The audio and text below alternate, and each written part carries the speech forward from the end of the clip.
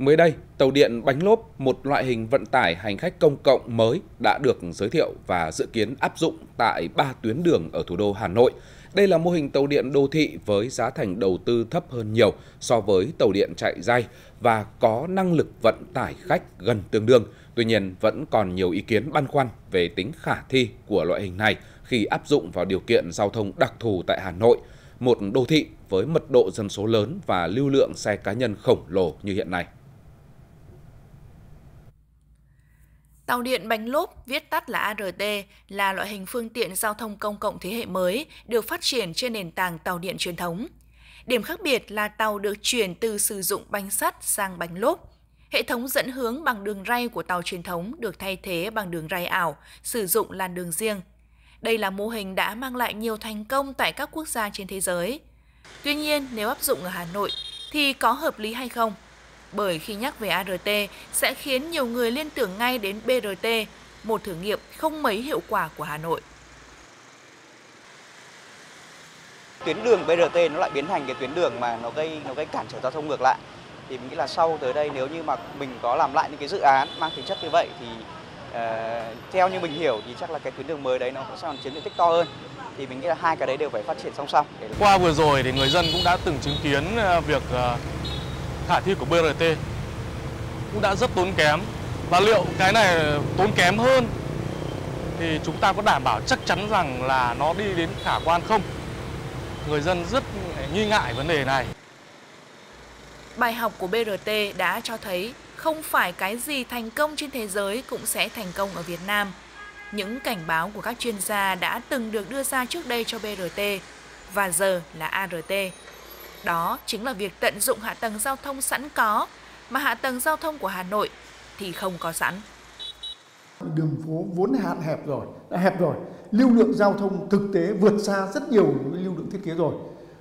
Vì vậy nếu đưa cái ART với bánh lốp và nối hai toa, ba toa, ba toa, bốn toa vào thì như vậy nó sẽ gây bức xúc cản trở rất nhiều trong vấn đề giao thông.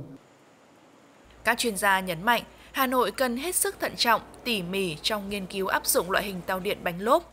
Không dễ để ART có thể phù hợp và hiệu quả với mạng lưới giao thông của Hà Nội, một thành phố với gần 8 triệu xe cá nhân. Sau 2 ngày thông xe, cao tốc Cam Lâm Vĩnh Hảo sẽ tạm đóng từ 7 giờ đến 18 giờ ngày 28 tháng 4 để bảo đảm an toàn an ninh cho lễ khánh thành. Phạm vi đóng đường từ nút giao Du Long, huyện Thuận Bắc, tỉnh Ninh Thuận đến nút giao Vĩnh Hảo, huyện Tuy Phong, tỉnh Bình Thuận. Các xe di chuyển đến các nút giao này phải rẽ ra quốc lộ 1 theo đường kết nối tại hai nút giao trên. Cao tốc Cam Lâm Vĩnh Hảo là đoạn cao tốc cuối nối Sài Gòn với Nha Trang, cùng với 4 đoạn đã hoàn thành trước đó, giúp rút ngắn thời gian từ Sài Gòn ra Nha Trang chỉ còn khoảng 4 đến 5 giờ, giảm một nửa so với đi trên quốc lộ 1. Thưa quý vị, Camera giao thông có chức năng giám sát, theo dõi tình hình trật tự an toàn giao thông và kịp thời phát hiện sự cố giao thông trên các tuyến khi vắng bóng lực lượng chức năng. Song với số lượng camera ít ỏi như hiện nay sẽ khó có thể xử lý triệt để vi phạm. Mới đây, Công an thành phố Hà Nội đã đề xuất lắp thêm camera phạt nguội. Đây là một trong những giải pháp cần thiết để điều chỉnh hành vi của người tham gia giao thông. Vào giờ cao điểm, tình trạng xe đi vào làn khẩn cấp diễn ra như cơm bữa. Chỉ khi có lực lượng cảnh sát giao thông chốt chặn, vi phạm sẽ giảm. Song khi vắng bóng, tình trạng này lại tái diễn, khiến cho tuyến đường vành đai ba này thường xuyên ùn tắc.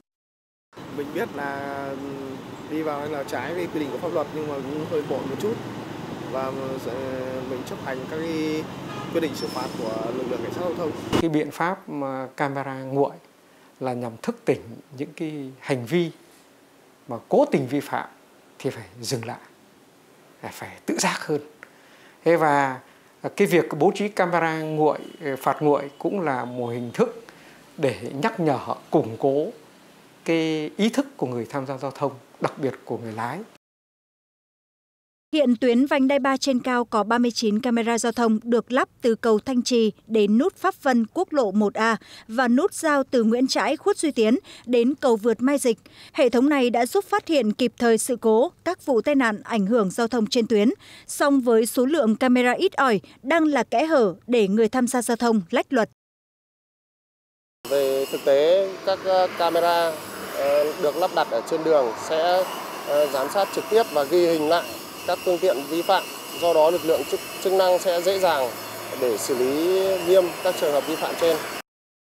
Việc ứng dụng công nghệ đã và đang nâng cao hiệu quả công tác bảo đảm trật tự an toàn giao thông bởi hệ thống camera hoạt động trên nền công nghệ lõi là công nghệ xử lý, nhận dạng ảnh và ứng dụng trí tuệ nhân tạo. Hệ thống phù hợp với các chủng loại biển số ô tô của Việt Nam và có thể hoạt động ở các điều kiện triển khai thực tế khác nhau như ban đêm, ban ngày.